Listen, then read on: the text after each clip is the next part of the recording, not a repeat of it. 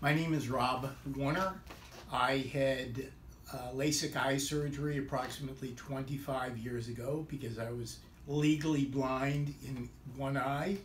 As a result of that surgery, I had 20/20 vision for almost 25 years until approximately six to nine months ago when I found that I could no longer read uh, the smaller print on the television and that concerned me. So I made an appointment to uh, have my eyes checked, and sure enough, um, I had cataracts in my eyes.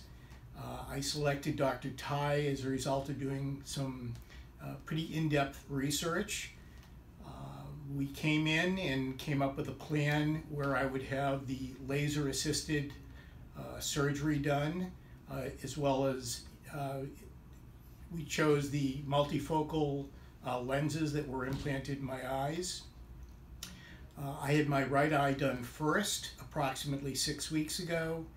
Uh, what I noticed immediately was that uh, I could begin reading uh, the smaller print almost immediately. Um, the, the morning after I woke up and didn't feel like I had any surgery done whatsoever. There was no pain, no discomfort, and I could, like I said, uh, uh, see perfectly. Um, about two weeks ago, I had my left eye done, same procedure, same doctor, and lo and behold, uh, the next morning I experienced the very same thing.